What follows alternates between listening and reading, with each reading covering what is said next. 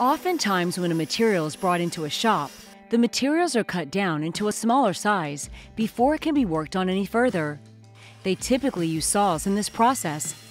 Usually, this begins by having long bar stock rough cut to a length or cutting piece from flat plate stock. There are three common types of saws. Bandsaws revolve a thin blade over and over again.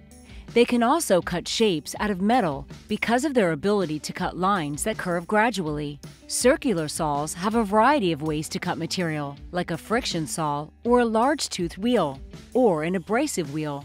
Hacksaws have a very specific cutting method. They use a reciprocating motion, so only one of their back and forth motions makes a cut.